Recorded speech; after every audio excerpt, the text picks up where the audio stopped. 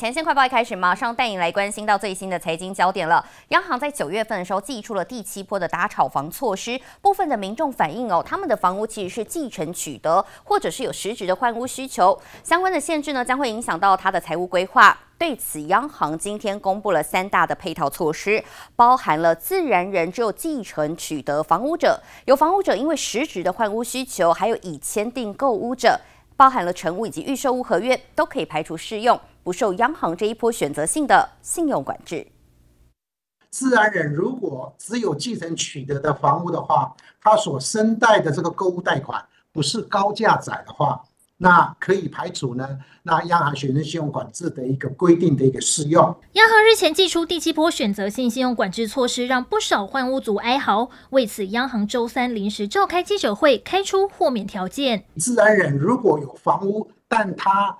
认为他有实质换物需求的话，那如果他跟金融机构承贷的金融机构切结约定下列事项后呢，那他所申办的第一户或第二户的购物贷款。也不是高价载的话，可以排除本规定的一个适用啊。自然人如果有申办财政部的这个青年安心成家购物贷款的，也不受本规定第一户购物贷款跟第二户购物贷款的限制啊。为了达成信用管制的目的，同时兼顾购物自住需求的资金规划，央行对三族群放宽继承者排除规定，包括继承取得房屋、换屋需求与承贷银行签订拨款后一年内出售原有房产，以及已签订成屋与预售屋购物合约，不受选。选择性信用管制、无宽限期或成数限制，九月二十号起申办的贷款案件都可适用。就是因为有民众反映下手太重，央行收到的一些民众的陈情里面，他们有反映到说，有部分呢啊，这个民众的房屋是继承取得，